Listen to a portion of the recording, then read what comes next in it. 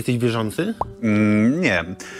Ale Nie, ateista nie, czy agnostyk? Nie, trudno mi to zdefiniować, no bo agnostyk to jest ktoś, kto, e, jak rozumiem, mm, nie ma dowodów, ale dopuszcza możliwość, tak? Natomiast ja jest, jestem jednak niewolnikiem e, rozumu, który to rozum, jakby nie kombinować, podpowiada mi, że jednak logicznie idea kreatywnego stwórcy wszechwiedzącego i wszechmogącego się nie skleja.